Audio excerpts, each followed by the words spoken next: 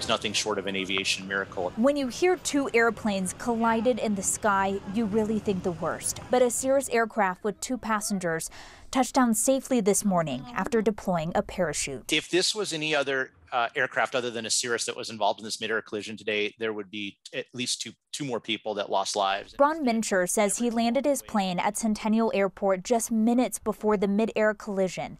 He's been flying Cirrus aircraft since 2013. It actually, ironically, includes a ballistic rocket and a 60 foot canopy parachute that is just like uh, you know, for situations that happened at Centennial Airport with a mid-air collision. Investigators say the plane hit a Metroliner that landed safely at Centennial Airport, missing so many pieces. Hundreds and thousands of operations every year at Centennial uh, that are done safely. So I think this was just a fluke accident. Tyler Batchelder is an associate professor at MSU who specializes in flight training. So it'll be interesting to see what the investigation uh, reveals about what these pilots were able to see outside, whether they were able to see each other in sufficient time. The Cirrus aircraft is a rental plane from Independence Aviation, a flight school at the airport.